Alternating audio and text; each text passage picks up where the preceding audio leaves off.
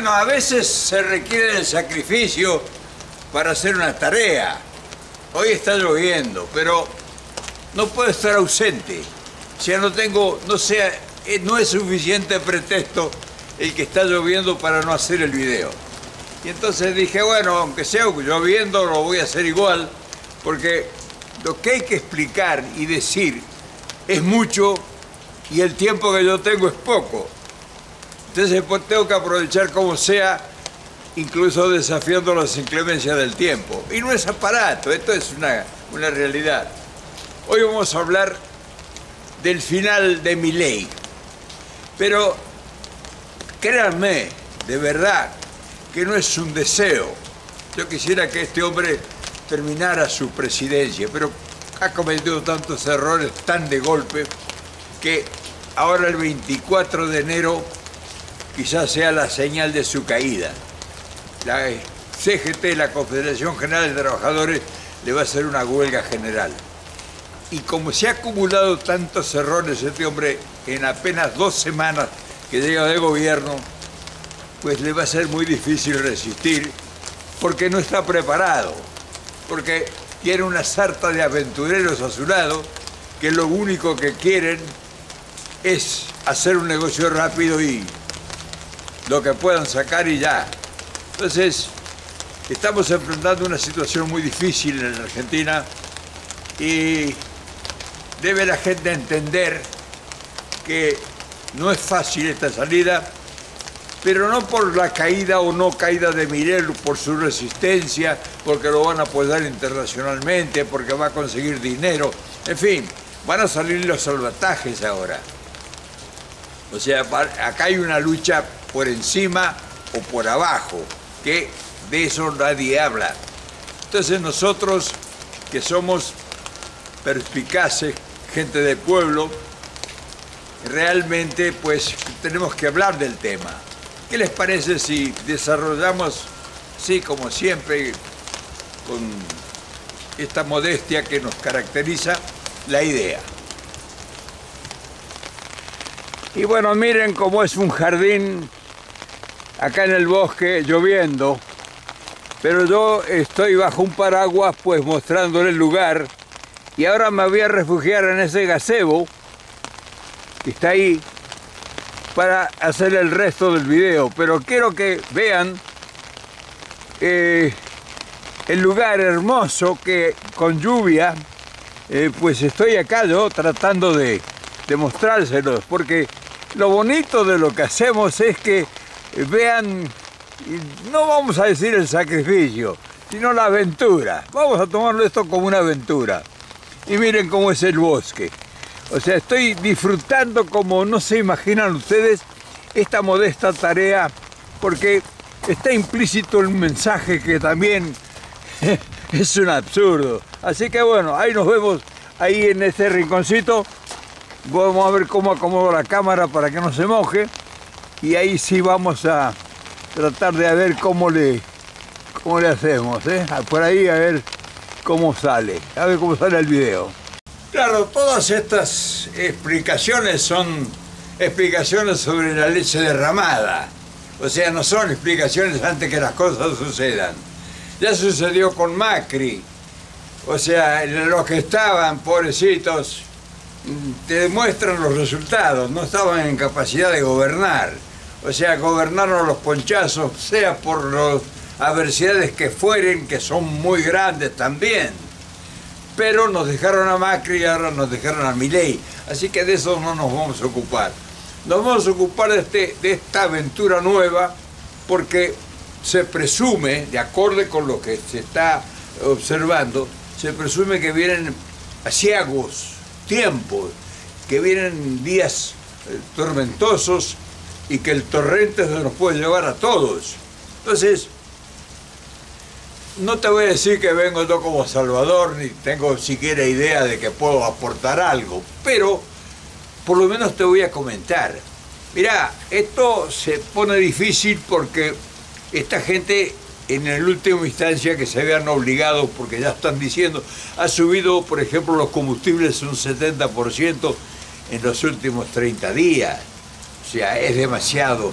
eh, la comida en general está subiendo a un treinta y tantos por ciento, ha subido, ya las góndolas están en muchas partes vacías. O sea, el, comerciante no puede reponer el producto porque no tiene precios. Eh, o sea, la, economía se les está yendo de las manos y ahora hablan, ya no hablan como dijo Milei hace, hace dos semanas, cuando asumió la presidencia, que dentro de 45 años iba a estar resuelto el problema. O se muere el perro o se muere el dueño. Entonces, si no vamos a pensar que vaya a ocurrir algo que mi ley o, que, el adivino que fuere va a adivinar dentro de 45 años, nos interesaría qué va a pasar la semana que viene. Y entonces la semana que viene, de acuerdo a lo que acaba de decir hace un rato, el vocero presidencial dice que viene muy peleaguda la cosa, que no saben qué hacer y entonces ahí ha surgido la, CGT, que no es ningún referente confiable, les puedo asegurar. O sea, los dirigentes de la CGT eh, son gente que no, no se les puede confiar, pero son los únicos mediamente organizados en el país. Y claro, esa gente no, puede ofrecer muchas eh, seguridades para calmar la ansiedad y el, y el drama. Pero el problema no es ese. O sea, fíjense ustedes, aún siendo un drama y un problema que aparentemente no tiene solución, no es ese el problema. Y entonces, claro, al no ser ese el problema, ustedes me dirán, bueno, que todavía más, entonces eres ososo o eres un tremendista, tirabombas, como una vez me dijo alguien del kirchnerismo. Y no, lo que pasa es que me preocupa porque nosotros no tenemos equipos profesionales preparados. O sea, llegado el caso de que mi ley se vea obligado a, abdicar. Sí, abdicar porque él está manejando como un, como un monarca el gobierno y que se tenga ver obligado a tener que salir huyendo. Él y toda su camaradería, sus camaradas, sus... Entonces, ¿y quién sigue? ¿Quién aparece? ¿Quién se está hace cargo del problema? Porque el problema no es local solamente y la gente y el pueblo y, todo el, desastre del tsunami que va a pasar. ¿Hay gente preparada que ya está trabajando en eso? Te pregunto, porque ustedes están ahí en Argentina y muchos son contactos, muchos que están viendo este video son gente de la política. ¿Hay gente preparada dentro de ustedes que ya tienen previsto una alternativa? ¿Van a hacer lo mismo que hicieron en el 2001, cuando tomó Dualde por descarte? Por descarte, porque hubo presidentes en, en, cinco, una semana hubo cinco presidentes y quedó Dualde por descarte. Y hizo el hombre lo que humanamente pudo, pero nos dejó a Kirchner, que pues aparentemente llegó como un cruzado y terminó en Macri toda esa aventura. Pero bueno, el hombre hizo bastante, o sea, hicieron bastante dentro también por el condicionamiento que tiene el país a través de todos los acreedores de deudas que quién sabe Dios sabrá de, quién y qué y quién y de por qué las contrajeron. Entonces ahora el problema que realmente yo presumo que va a ser un problema grave es en caso de que este hombre se vea obligado a abandonar el poder.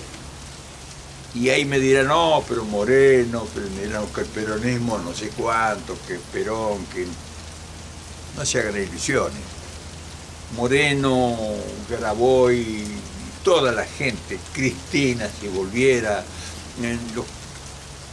no es fácil, no es fácil porque no es un problema de una persona, incluso ya no es un problema de un proyecto.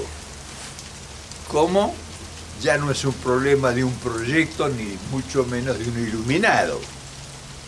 Acá lo que se necesita es que se incorporen todos los argentinos que nos integremos todos. y que tengamos la grandeza de nosotros elegir una idea primero y después entre todos tratar de realizarla. Y eso es un es peor que la llegada de mi ley. ¿Cuánto tiempo va a llevarnos ese encuentro, ese hipotético encuentro? No está previsto, nadie ha dicho de nadie habla de eso. Nadie habla de que si se tuviera que eh, ir mi ley mañana, ¿cómo sigue? O sea, esa es una irresponsabilidad absoluta de todos.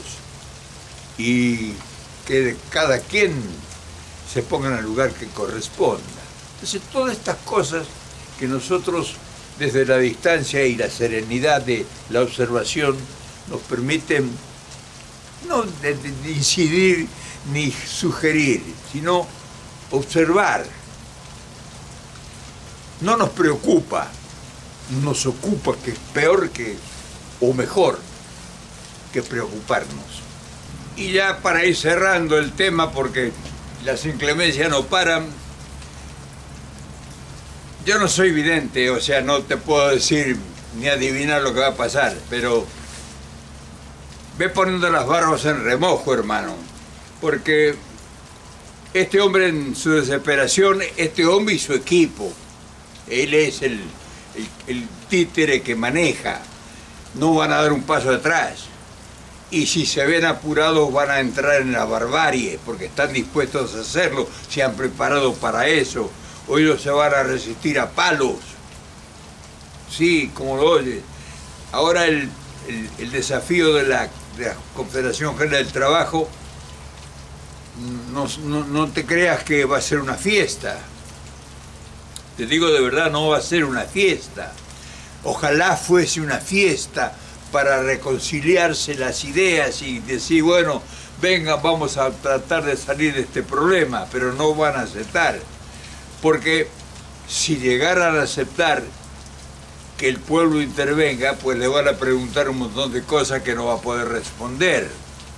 O sea, no están dispuestos a dar respuesta para nadie. Ellos se quieren llevar a todo el mundo por delante. Entonces todo eso está, preanuncian batallas, preanuncian desacuerdos muy violentos.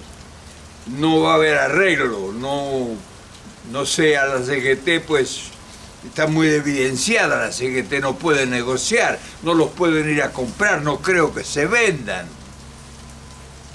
a pesar de que no hay que descartar nada, que en última instancia levantan el paro. No te sorprendas, tampoco te sorprendas, ¿eh? pero yo creo que no, esta vez no van a poder hacerlo. Así que, hermano, lamento mucho hacer este video, pero creo que era necesario, porque te tienes que ir preparando mentalmente para lo que viene. No te debes sorprender ahora. Y mañana, por supuesto, si te parece y no llueve, pues la seguimos en otra parte. Pero hoy, como ves, en las inclemencias del tiempo no nos ha impedido comunicarnos. Ya estamos trabajando, hermano. Y el que trabaja, pues ya ves, puede desafiar cualquier adversidad y, como decía Simón Bolívar, seguir adelante. Mañana nos vemos.